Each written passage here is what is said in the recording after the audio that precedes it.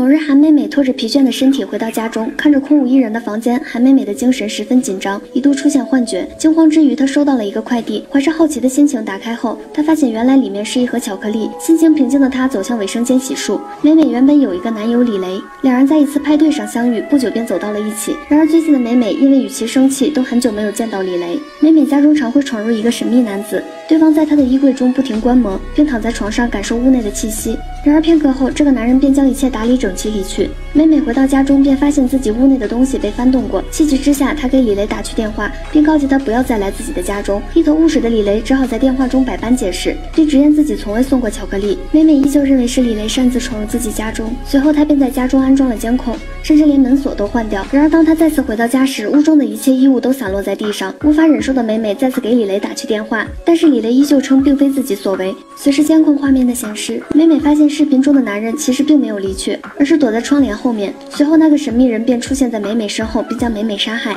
美美的同事小童在手机上看见美美家的监控视频，并不以为然。随后，他便组织几名同事以及自己的上司去野餐露营。露露一直与杨总存在私情，两人在闲暇之余前去林中暧昧。而此时的小童则与何玉萍独处，谁知何玉萍在无意中却失足惨死。露露循着声音赶来，只发现了满身是血的小童。惊慌之余，露露独自跑出。